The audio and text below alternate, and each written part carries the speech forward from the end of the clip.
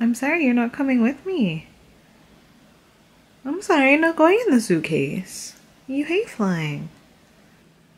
You either. Hello, my lovely, lovely viewers. Today, I just thought it'd be fun to show you sort of how I packed for my recent trip to France and how I put the items together to make outfits. Now, I'm not gonna tell you that I'm gonna teach you the French girl way of dressing because being in France teaches me one very important thing. A lot of French people have their own unique individual style. So, this was a couple days before the trip. I had everything laid out on the bed. Um, and I did actually make a few changes to this packing list. So as you can see though, I have four blouses, including the blouse I'm gonna wear on the plane. It's just kind of a t-shirt. Um, I packed two dresses as well, two skirts, two cardigans, my jacket, my scarf, a couple pairs of tights, basic underwear, and I ended up taking two pairs of shoes. So this striped dress ends up going. I decide it's not quite right for what I want, so I swapped it for something else. So this is the day of the trip. Pack my multivitamins, some herbal tea, some extra mess because planes are gross. More herbal tea. And then in the case, I have, you know, just kind of basic like accessories, toiletries, etc., that don't need to be in my liquids bag.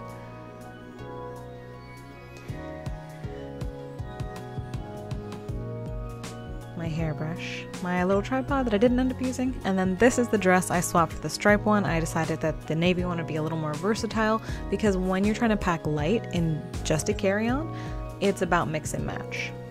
I wanted to save room in my bag as well, so I rolled everything except for the bulkier items.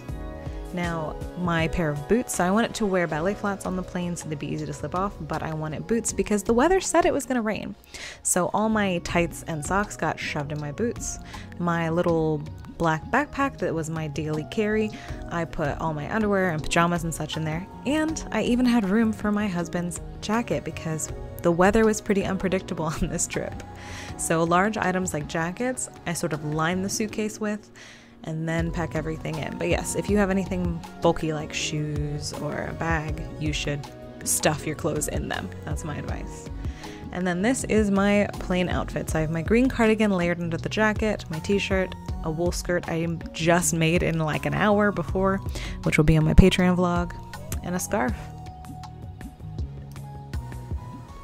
So, um, there really was no day two outfit because so day one is flying. Day two was um, getting from the airport to my friend's house.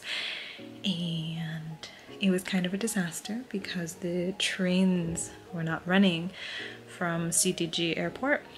So we needed to get the like out of city trains and they were closed so we had to wait for a bus for two hours and then take the bus into the city and take a different train it was Ooh, it was a long and tiring day and so I ended up basically being in the same clothes that whole time, which is not ideal. Um, but yeah, so day three was a pretty quiet day. We mostly just actually spent time with some friends here in France um, and took a nice walk in a lovely sort of forest garden. So Yep, so I just wore my white blouse with this dress as like a kind of jumper and I wore my leather boots. Day four is my black tank dress and a simple cardigan, just a simple chic outfit that was really easy to move around in. Um, and I layered it with a scarf for when it got a little chilly later in the evening.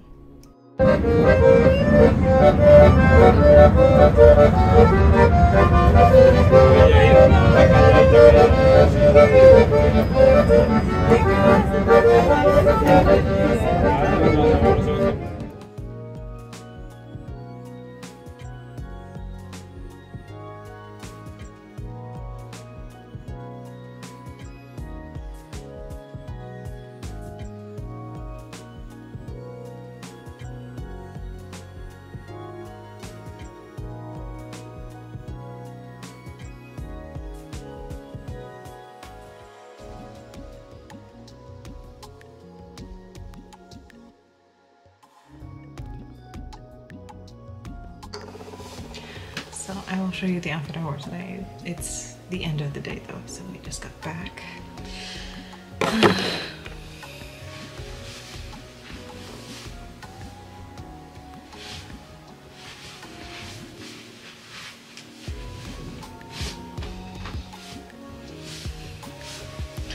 So I have made a discovery about this skirt and it's that I actually don't like to wear it if I'm walking around and being very active.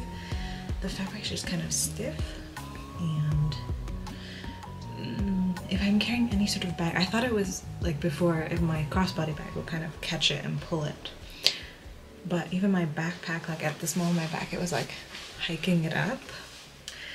I don't know, maybe it's because the the cotton has kind of a papery texture. I'm not sure.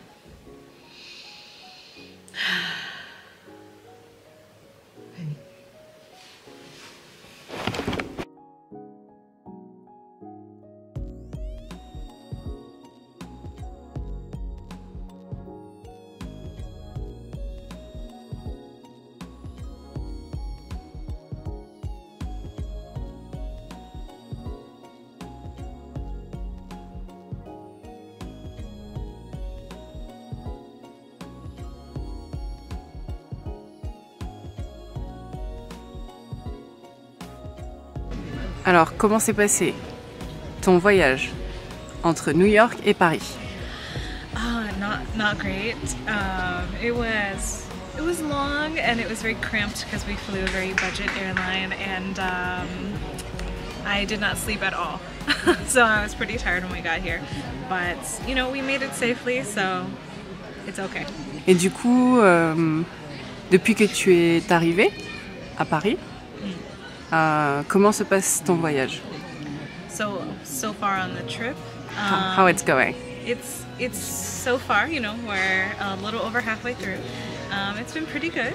Uh, i got a little bit sick um, and my feet are hurting a bit but you know i'm surviving and i'm glad to be here and we have some really good weather. It was supposed to rain like the whole time and we're having some really beautiful beautiful weather here so i can't be too upset um, you know, we we saw some really nice sights. So it's my second time in Paris, but it's my husband's first time. So it was nice. Uh, even though I wasn't feeling well, he got to take the scooter around and explore some of like the night view of Paris and stuff. So I think it, I think everyone's having a good time. We're here at Sacré-Cœur today.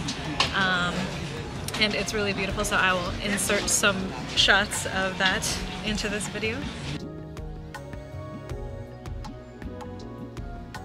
Alors, euh, peut-être une question, ça serait quelles sont euh, expectation versus reality Don't remember in French. You've been speaking too much English with us. We'll dub it over later. we'll dub it over with Oh, yeah. a real French speaker. uh, okay. Um, I think for I, my expectations for myself on this trip, I guess I thought I would probably like do everything, but you know, I think recognizing your limitations has been really important. Um, and if you're really feeling sick, not pushing through um, because you won't enjoy anything that you're doing. Um, so I think I had to remember I'm not like in my 20s anymore. So I can travel a little more slowly and just really enjoy it. I think that's my reality now. Um, I think for a lot of people, you know, coming to Paris, they think it's all going to be really beautiful and really romantic, but you know, it's still a place where everybody lives. So not everything is beautiful romantic. There's construction, there's dog poop, you know, so it's important to remember it's somebody's hometown, not just a tourist destination. Did you, for example, did you expect to do some of your things and plan change? So, what did you expect to see? And maybe now that you've seen it, uh, the feeling is different. Um, I don't know. I think I try not to have too many expectations when I'm going somewhere because I and I also try not to plan too many things because I want to see a place without like imposing my opinion on it until I know what it's really like. So actually, so the first time I came to Paris, like six and a half years ago, Um, I didn't think I was gonna like it, so I didn't plan that much, and I didn't plan to stay very long. I was like, it's probably really overhyped, so I'm going to just like go walk around. We'll see. We'll see. You know, I was actually very like not negative, but I was like, hmm, Paris. You know, everybody goes to Paris. I had just spent a few weeks in Lyon, and all my friends in Lyon told me like, Paris isn't so great. I probably, you know, it's competition between cities. Um, but then I got here and I was like, okay, I like it. It's nice. I want to explore it more. Um, I think it's a very photogenic city because of the beautiful, like, light colored, like, brick and stone. I think it's really photogenic. Um, I say the Eiffel Tower is probably disappointing. We haven't gone on this trip, but I went on my last one, and I think a lot of people go there to see the city view. And it's really not the best view. It's really not the best view of Paris. It's just okay. Yeah, thank you. I agree with you. Yeah.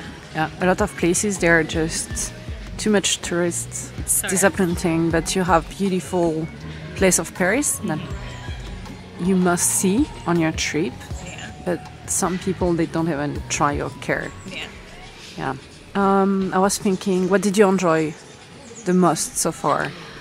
So far, well, I really like spending time with you and your family. It's nice to just visit with friends as well. It's not just tourist stuff, but also just like visiting your your family across the sea.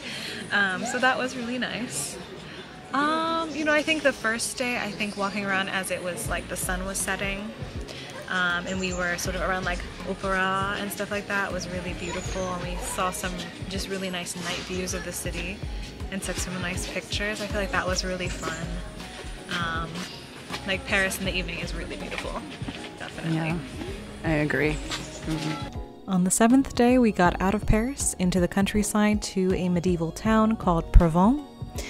It's really nice, and I'm definitely going to vlog a little bit more about this part of the trip in the future. Um, but if you really want to see historical France, it's a great place to go. I just wore the navy blue dress again with the gray sweater over it and a pair of tights. It was pretty warm this day. That seemed to be the theme of the trip. It was always warmer than we expected, but what can you do? Complain about good weather? Kind of, yes. I like it when it's uh, chilly and crisp in the autumn.